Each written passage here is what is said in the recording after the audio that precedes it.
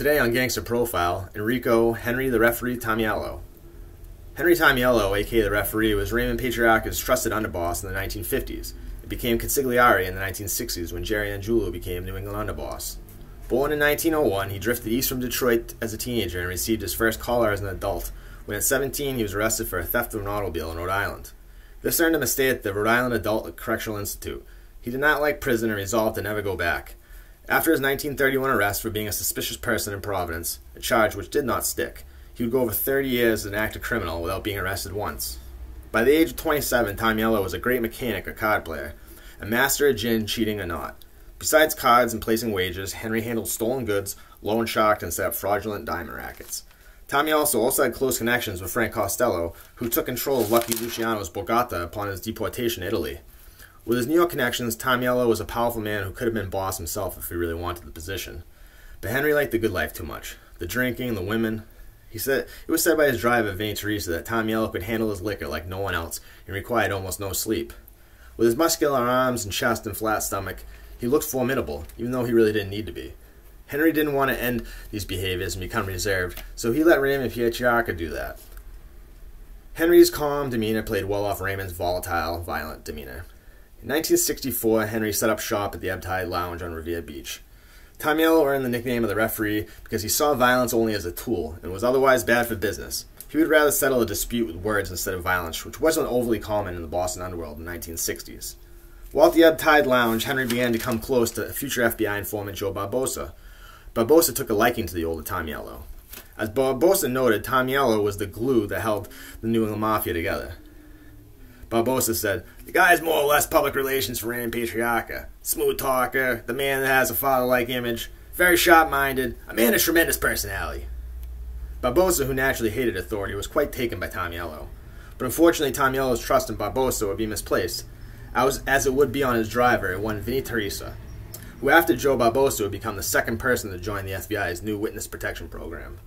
Teresa would contribute to the beginning of Tameleo's unraveling, and the first time Raymond would ever question him.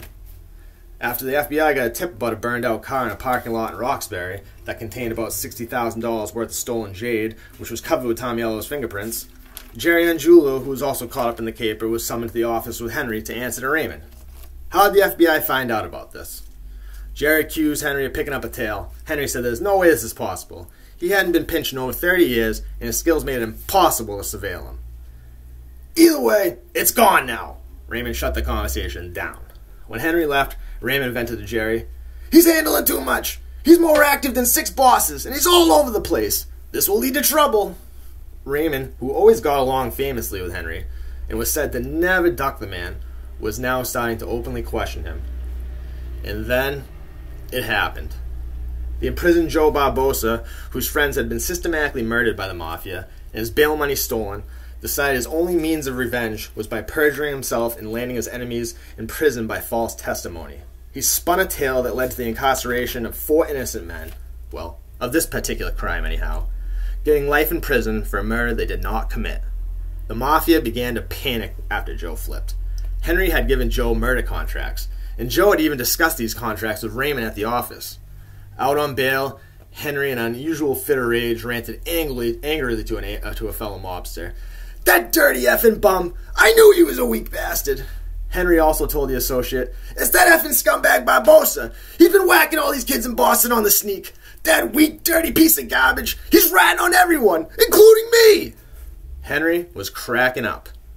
Worse for Henry, even. Raymond in the office blamed Tameleo for bringing Barboza around. Raymond was wild.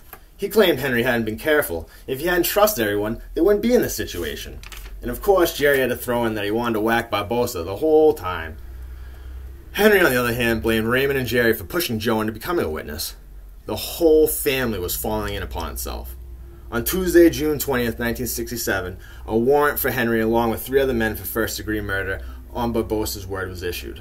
Tameleo was incredulous that he couldn't manipulate, couldn't manipulate federal agents like he could local. He took to ground and was staying in a Wakefield, Mass hotel under a false name. His whereabouts were given to the FBI by none other than his former driver and soon to be star FBI witness Vinnie Teresa. Tameleo was so trusting he never thought Teresa was informing for a minute. Tameleo, who of course was in the company of an attractive young female, surrendered without struggle. He told the arresting officers, I'm well aware of my rights by now. Originally sentenced to death for the murder of Edward Teddy Deegan, his sentence was commuted to life in prison. One of the most respected men in the entire underworld, who went over 30 years as Raymond's right hand without being arrested, would die in prison for a crime he did not commit. Also, with two of his most notable proteges becoming the first and second members of the FBI's new Witness Protection Program, he would never be viewed again by his fellow mobsters the same way. He would spend the last 20 years of his life as a lowly prisoner. He died at the age of 84 in 1985. And there ends another tale from the gritty streets of 1960s Boston gangland.